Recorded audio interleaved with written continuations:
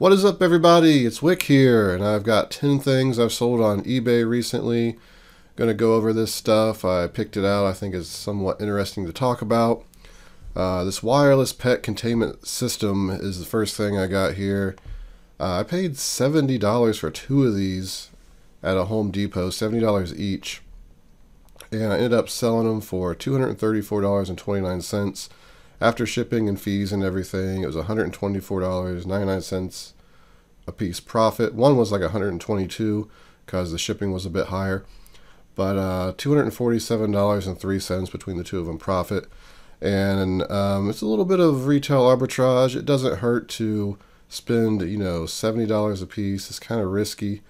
Um, but if you know you're getting a return, it's really not that risky. It's just a lot of people, for some reason in their minds, they they don't want to spend $70 on one item, even though they're going to pretty much double their money.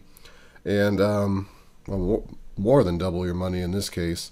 So any anytime I could spend $70 and make $70, I consider that a good investment.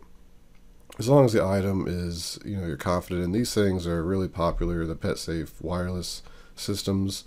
So I was pretty confident that I was going to sell it well, and it did. So I would love to pick them up again. The funny thing is, the guy was complaining. He's like, "Yeah, we're clearancing all these out because people steal them." And I thought, well, uh, okay, more money in my pocket, I guess. So next here, not too long ago, I found a used phone set at uh, Goodwill. It was, I believe, five dollars, or maybe it was. Let me see here. Let me look at my cheat sheet.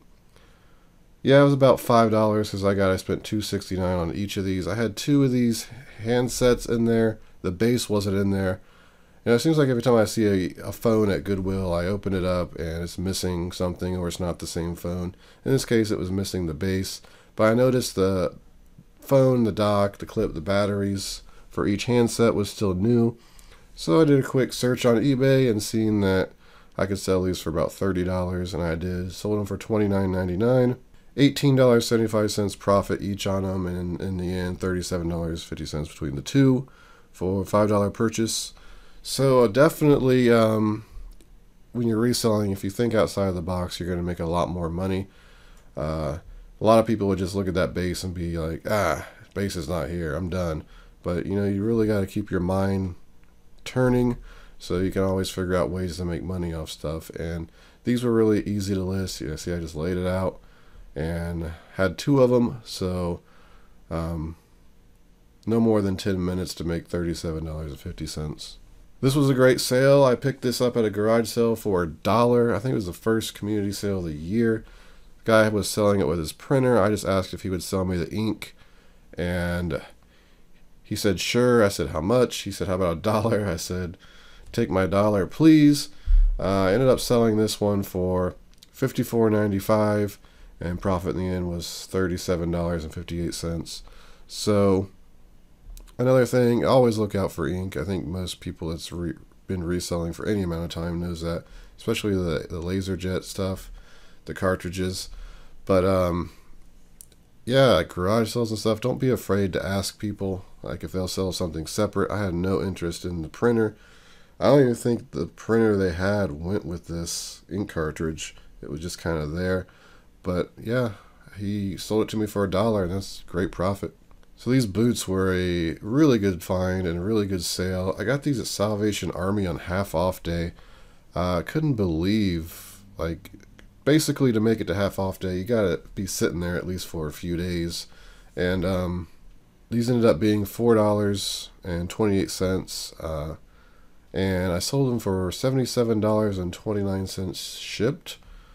So after fees and shipping and everything, it was $45.13. Uh, there was a lot of interest in these. Uh, some people were asking me, just sending me messages if I would go lower. Uh, I had about 12, 13 watchers. I knew that they would sell, so uh, I didn't have best offer on or anything. So I just um, waited it out for about a week, week and a half, and they sold for some great profit. The redback uh, boots, they're Australian made. They're really nice. They actually fit me, and I was tempted to keep them, but I'm like, I don't know if I, I need these. The funny thing is, they're, they, they're size nine and a half, and I wear ten and a half, but they fit me really well. I was a little bit worried that um, they'd get a return because the size seemed like maybe it didn't match or it was kind of an off size. But yeah, keep an eye out for that brand. So I picked this up at Salvation Army as well not long ago. Uh, $4.99 is what I paid. It is a the Singing Machine microphone. I had no idea what the price is at. I kind of messed up. Um, it was I ended up pricing it at $49.99. It sold pretty quick. Uh, I should have had buyer pay shipping at least because shipping was pretty expensive, but ended up making $27.41 in the end. I couldn't find any comps on this anywhere not on Amazon or eBay. I probably should have priced it maybe a hundred bucks and have best offer on, or just had hundred bucks and let it sit for a month or two to see if I get a sell. Because things, when no one else is selling them or they haven't sold, they must be pretty rare, right? Um, but you live, you learn. I probably could have made some more money on this, but yeah, I didn't pay enough attention. So I got this is Salvation Army as well. Salvation Army been paying out lately. Uh, this is a Friends DVD set. I paid six forty two after tax for this. Sold it for thirty four dollars eighteen cents. Made seventeen dollars eighty four cents. So um, yeah, I kind of regretted buying this after I got it home. I'm like, man, you know, this is gonna it's gonna be a pain to list because I didn't test all the DVDs. I just looked at the back and they were pretty much mint condition. So I, I just assume they work. If they would have had scratches on them or anything, I would have just probably wasted my money because I wouldn't have took the time to list them. And I wouldn't have felt confident uh, selling it without testing it. But it did have a little flaw here uh, where Salvation Army put the tape on, so I just closed that. And I thought, there's so many other people selling this, and I priced mine a little bit higher because I wanted to make a little bit more money. And I'm like, eh, this will probably sit. But it sold really quick and uh, for yeah thirty-four dollars eighteen cents, seventeen dollars eighty-four cents profit. So um, yeah, I would probably buy this again as long as the the discs are in good shape and everything. He was a great find and a little bit of a blunder on my part, I think, but uh, I paid four dollars for this at a garage sale. It is a massager, and it is a Homedics massager, and there's so many different types of Homedics massagers. Some of them are garbage, some of them are good. This one is a good one. Um, you can sell this one for quite a bit of money. I sold mine for $69.99. I paid $4 for it. I'm not sure if I said, but I had to pay over $20 to have it shipped. Of course, it went to California. Here's the thing to compete with the other sellers that were selling it for $69.99 free shipping. Um, I basically just priced mine free shipping and was hoping it wouldn't go to California. Uh, it did, of course. It, it, seems like it always works out that way. So, you know, in the end, I made $36.24 for a $4 investment. So I can't really complain. It's just that maybe I should have priced it at uh, $59.99, buyer pay shipping. And then the person from California would be like, oh, I'm not paying $20 for to have that shipped to me. I'll buy the other one That'll save me shipping and then just wait until someone more local was willing to buy it. So uh, that's probably the route I should have took. I, I, honestly, I probably would only made like 10 more dollars on it. So, you know, there's no, I got the sale. I made great money. So really, you can't complain. But, you know, it's just something to think about if you're trying to maximize your profits. But if you try to maximize every sale, you'll probably go insane. So it's probably just better to get it moved. Uh, I paid five dollars for this sealed active scroll internet mouse IBM. Uh, I didn't think it would sell this quick. I figured it was something that would sit. I almost left. I picked it up and put it down like three different times. Uh, it was five dollars thirty-five cents after tax. Sold it for twenty-nine ninety-nine. Made fifteen eighty-three.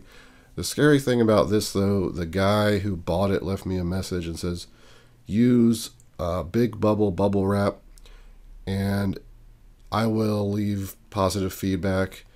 Uh, if it arrives damaged, I'll leave negative feedback. so he was like really specific in his buyer notes. I'm like, oh no, uh, this guy is he's going to give me trouble.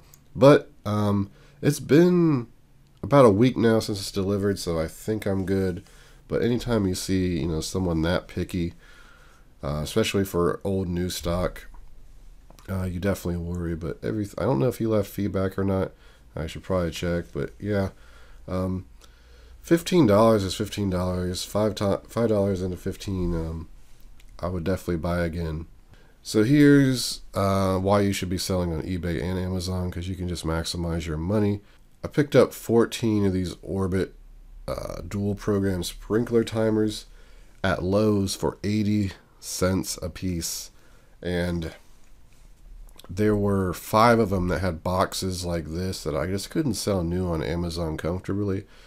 So I put them on eBay, uh, priced them at, let's see, $22.45 free shipping. Ended up having to ship them uh, in a poly uh, mailer, so it was like $6.90 to ship each one. But in the end, I paid so little for them, it was $11.55 profit. So between the five, fifty-seven dollars and seventy-five cents was the total profit between those five. And then the nine I sold on Amazon, I was able to sell for a lot more. I believe thirty-seven dollars and fifty cents is what I priced those at, and uh, in the end made two hundred thirty-eight dollars and fifty cents on those. So a total score of two hundred ninety-six dollars and twenty-five cents between these sprinklers. Um, sometimes you just find the greatest clearance. Like these things were normally like thirty dollars. Well, I think 40, 30 or forty dollars. They had marked down to eighty cents. I think maybe because of the boxes, and then they just had extra ones that weren't that bad. I don't know why. Um, just happy I picked them up. I guess maybe no one bought them because all the bad boxes were in front, and I was just at first I'm like, "Ooh, these are rough," but 80 cents you're you're you're gonna buy all of them no matter what the condition. They're still new inside. I sold them as new uh, like new uh, with box damage. So really happy that i decided to buy both and sell you know between amazon and ebay and maximize my profits. And then finally not long ago i bought two different lots of homeschool books um, this one I sold. Uh, I sold it for $66.22. I did pay $20 for this lot, but this isn't all the books. Uh, there were two identical copies of one, and I decided to pull them and sell them on Amazon. And I should make $10 a piece on them, so I'll probably get about another $20. But still, spending $20 at a garage sale, turning it into uh, $30.64 was my profit after all fees. So definitely more than doubled my money. And they sold pretty quick. And then I, I should get 20 more, so definitely happy with that. And the other lot, um, hopefully I can sell for over 100 We'll see, but um, I'm always looking out for books. Uh, that's been the theme this year. I've been selling books, different types of books, for large amounts of money on eBay. So definitely look out for homeschool books or old lots of certain types of books. But yeah, that's going to do it for this video. I want to thank everybody for watching. Make sure you hit that like button for me. I hope you learned something. I hope you see something out there on this video that you can look for out there.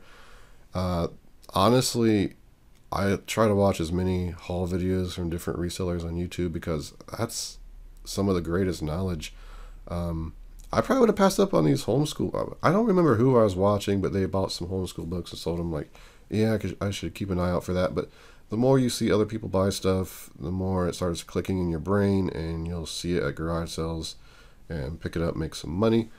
But again, I want to thank you for watching. This has been Wick. Till next time.